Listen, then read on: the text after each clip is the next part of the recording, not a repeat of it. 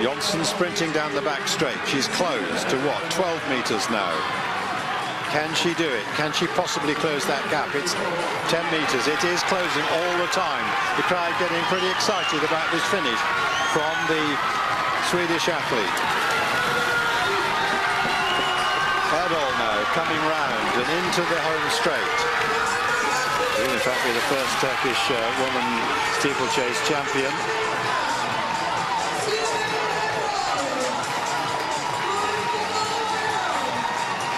But a wonderful run by Jonsson from Sweden.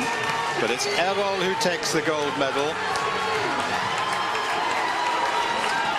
And then coming down the straight now, she really closed down all those leaders. It's Jonsson of Sweden who takes the silver, Vainio of Finland who takes the bronze, and Veerle Bakker of Netherlands is in fourth place.